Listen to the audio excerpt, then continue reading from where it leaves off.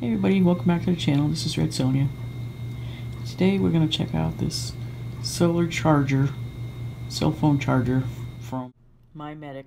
I think it was about 20 bucks, but I got it on sale.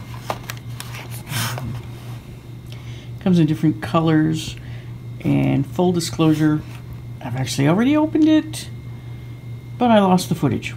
So this is take two. Uh, so let me get the package open and we'll take a look right, at so it. So this is what we get in the package. And it's a it's a full power bank. It just, you know, the bank is recharged with solar. And it comes in assorted colors as you can see on the pamphlet here. And this one is kind of orangey black. And it comes with has this little tiny button compass. And it has two built-in lights. I believe it goes high-low flash. It has a place to hook your carabiner.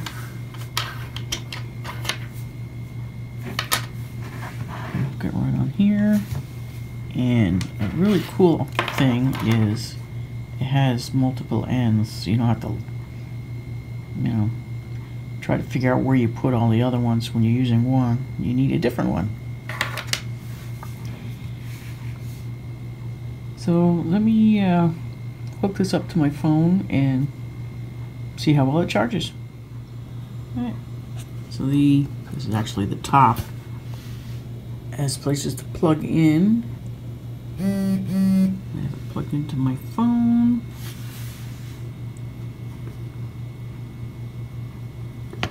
It seems to be charging very well.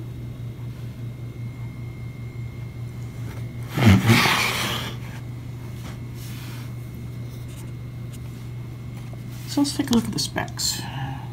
Get this to clear. Uh, single press, double press for on uh, flashlight. Alright, so it doesn't give us. There we go. 4,000 milliamp hours. It's made out of ABS plastic. Inputs 5 volt 1 amp. If you're only using, trying to charge one, the output is 5 volts 2.1 amp. If you're trying to do two, it's 5 volts 1 amp. The solar charging is 5 volts at 200 milliamps. And it's a lithium polymer battery. And do not disassemble device. Okay. So this is what it looks like, and it seems to work really well. I mean, with the solar, I mean, it was, the lights were going in the package. It totally charges really well. So let me disconnect this and we'll take a look at the flashlight part.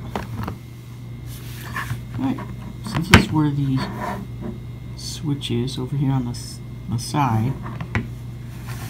And if you do two clicks, the light should come on. And see if we can see how bright it is. That's low. If I click again, it should be a blink. And then two clicks and it should go off.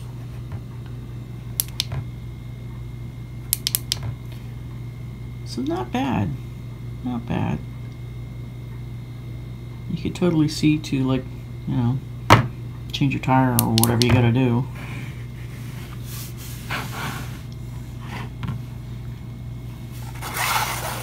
I think this is a excellent device, especially if you know you backpack or camp or anything like that.